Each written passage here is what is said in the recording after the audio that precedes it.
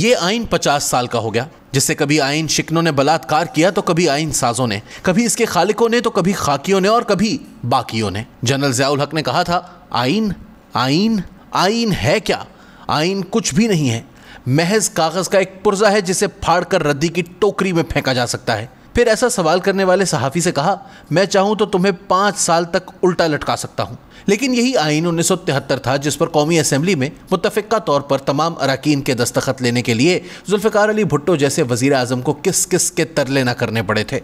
यहाँ तक कि जी एम सैद जैसे सियासतदान की भी मिन्नतें करना पड़ी कि वली खान और बलोच लीडर्स को आइन पर मुतफ़ा तौर पर दस्तखत करने के लिए कायल करने में अपने ताल्लुक इस्तेमाल करें। भुट्टो ने इस सिलसिले में जीएम सैयद से चीफ मिनिस्टर हाउस कराची में मुलाकात भी की थी। जीएम सैयद खुश थे कि भुट्टो इन्हें चचा कहकर मुखातिब हो रहे थे। फिर इसी आइन के खिलाफ जब Jeay Sindh students federation के नौजवानों ने सिंध यूनिवर्सिटी जाम शोरों में आइन के एक खालिक अब्दुल हफीज़ पीरजादा को थप्पड़ मारा, इस्माइल वसान ने वो थप्पड़ पीरजादा को रसीद किया था और नवो आइन ना खप्पे के नारे के तहत एजिटेशन की तो जीएम सैयद भुट्टो की हुकूमत के बाकी तमाम सालों के दौरान नज़रबंद रहे। नीज, जो जीए सिंध के नौजवानों, इनके बूढ़े वालदेन और घर वालों के साथ हुआ, इसकी मिसाल शायद ही कहीं मिलती हो। यहाँ तक कि जीए सिंध के एक नौजवान की हामिला बीवी को थानों में बंद किया गया तो किसी की माँ बहन को और किसी के बूढ़े वालदेन को। इन्हीं दिनों में मेरे दोस्त मदद अली सिंधी, जो जीए सिंध स्टूडेंट्स फेडरेशन के जनरल सेक्रेटरी थे, और एक नहायत ही शानदार सियासी और अदबी सिंधी जरीदा उगते कदम निकालते थे। मुझे याद है कि उन्होंने नए आइन पर जो शुमारा शाया किया था, इसका सरवर्क नवो आइन ना खप्पे पर मबनी था। मदद अली सिंधी अपने साथियों समेत सिंध यूनिवर्सिटी से निकाले गए थे। जरीदा जब्त हुआ, जिस प्रेस में फैक्ट प्रिंटर्स ने जरीदा छापा था, इस पर छापा पड़ा। मदद अली सिंधी के वालिद को सिटी थाना हैदराबाद में रखा गया। मदद अली सिंधी भी बाकी जितने साल भुट्टो की हुकूमत रही, रूपोश रहे। जीएसएन स्टूडेंट्स फेडरेशन ताहम हर साल इस अपनी नौ आइन ना खप्पे तहरीक की याद में 28 अप्रैल को योम जदोजहद बनाया करती थी। खैर, ये बात तो हुई बरसबील तस्करा। लेकिन अभी इस मुतफ़ा आइन पर हिजब इकतदार और हिजब इख्तलाफ से ताल्लुक़ रखने वाले अरकान कौमी असम्बली के दस्तखतों की स्याही भी खुश्क नहीं हुई थी कि कौमी असम्बली में हिजब इख्तलाफ के इंतहाई अहम और मोज़ अरकान मुफ्ती महमूद, सरदार शौकत हयात अखुनजादा खान और दीगर को भुट्टो की गस्टापो, फेडरल सिक्योरिटी फोर्स के ज़रिए असम्बली हॉल से डंडा डोली करवाकर बाहर फेंकवा दिया गया। इसी आइन के मुसवदे पर दस्तखत करने से इनकार करने वाले अरकान, मीर अली अहमद तालपुर, अब्दुल हमीद जतोई और अहमद रजा कसूरी के खिलाफ रियासती दहशत गर्दी और गुंडागर्दी की इंतहा कर दी गई। अब्दुल हमीद जतोई पर झूठे मुकदमात कायम किए गए। अहमद रजा कसूरी के वालिद के एफ़ एस एफ़ के हाथों कत्ल पर भुट्टो फांसी चढ़ गए, जो कि एक और तारीखी नाइंसाफ़ी और अदालती कत्ल था। दस्तखत से इनकारी चौथे रहनुमा मियाँ महमूद अली कसूरी थे, जो भुट्टो के ही शुरू वाले अबूरी आइन के मुसवदे के खालिक और इन दिनों भुट्टो की काबीना में वज़ीर कानून और पीपीपी के अवलीन बुनियादकारों और साथियों में से थे। जब पीपल्स पार्टी के इस वक्त के एम एन ए हाकिम अली जरदारी ने इन मुनहरफिन और बलोच पश्तून लीडरों का साथ दिया तो इनकी भी माँ बहन एक कर दी गई। भुट्टो ने इनको भी क्या क्या न मुगलजात कहे?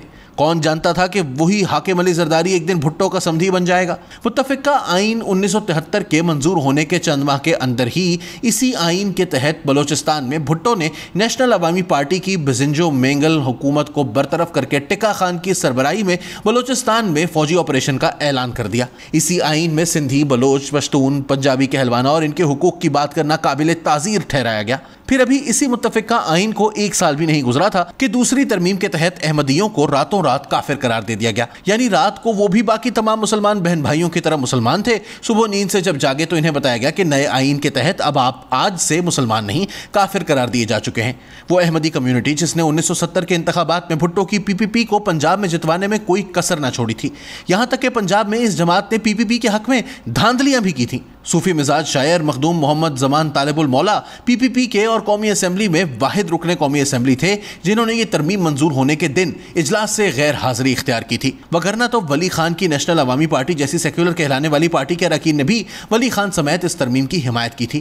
गैर मुसदा इतलात ये हैं कि अहमदियों के उस वक्त के खलीफा को कौमी असम्बली के बंद कमरा इजलास में बुलाया गया था और अरकान ने इनसे सवाल जवाब किए थे। जब इनसे मुफ्ती महमूद ने पूछा कि वो गैर अहमदियों को अपने अकीदे के एतबार से क्या समझते हैं तो उन्होंने भी भरमला कहा था। काफिर। मुझे नहीं मालूम कि कौमी असम्बली के इस बंद कमरा इजलास की कार्रवाई का रिकॉर्ड मौजूद है या इसे तल्फ कर दिया गया है। जुल्फिकार अली भुट्टो पर पीपीपी लीडर्स और कारकुनों के साथ साथ अवामी अक्सरियत भी जा बजा फख्र करती है कि इन्होंने नब्बे साल मसला हल कर दिया। इसी नए आइन में एक तारीखी मजहका ये हुआ कि अदलिया में असलाहत के नाम पर आइन में चौथी तरमीम की गई, जिसका बड़ा मकसद भुट्टो की पार्टी में से कुछ वकला की जजों के अहदों पर आला अदलिया में तकर्रियों को यकीनी बनाना था। इन जजेस में उस वक्त सिंध बलोचिस्तान हाईकोर्ट से अब्दुल हफीज़ मेमन, नूरुल आरफीन, बदीउल हसन जैदी, अब्दुल कादिर हालीपोटो की तकर्रियाँ शामिल थीं।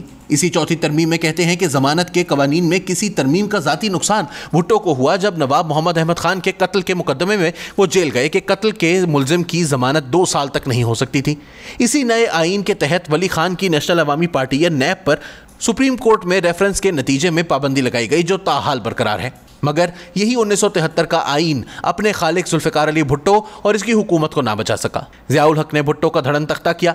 इसके बावजूद, क्या आइन में किसी भी मुंतब हुकूमत का बजोर बंदूक या ताकत के बल पर तख्ता उलटना या ऐसी साजिश में शरीक होना जुर्म गद्दारी है और जिसकी सज़ा, सज़ाए मौत है? आइन में ऐसे फिक्रे को आर्टिकल छः और छः अलिफ कहा जाता है। जस्टिस दुर्राब पटेल ने एक दफ़ा कहा था कि ना फ़कत जर्नैल, बल्कि इनके साथ साथ वो तमाम के तमाम जजेस भी आइन के आर्टिकल छः और छः अलिफ की खिलाफ वर्जी के मुरतकब हुए हैं, जिन्होंने मुल्क में मार्शल लॉ पर मोहर तस्दीक सब्त की थी, यानी जिन्होंने जयाल हक के अबूरी आइनी ऑर्डर के तहत हलफ लिया था। यही उसूल जनरल मुशरफ के पीसीओ के तहत हलफ उठाने वाले जजों पर भी लागू होता है। फौजी आमिर जिया के पीसीओ के तहत हलफ उठाने से इनकार करने वाले जजों में Justice Dorab Patel, Justice Fakhruddin G Ebrahim, Justice Abdul Hafeez Memon और जस्टिस आमिर रजा खान शामिल हैं। लेकिन जर्नैलों को आर्टिकल छः और छः अलिफ से भी ज़्यादा परेशानी इस आइन में होने वाली अठारहवीं तरमीम से है, जो कि बहरहाल जरदारी के दौरे सदारत का दूसरा बड़ा कारनामा था। पहला कारनामा सूबा सरहद का नाम बदलकर खैबर पख्तूनख्वा रखना था। सूबाई खुद मुख्तारी और कहीं हो या ना हो, लेकिन फौज के कोर कमांडर्स और सेक्टर कमांडर्स की कोर्स में ज़रूर नज़र आती है। हैरत है, फिर भी वो अठारहवीं तरमीम के खिलाफ है।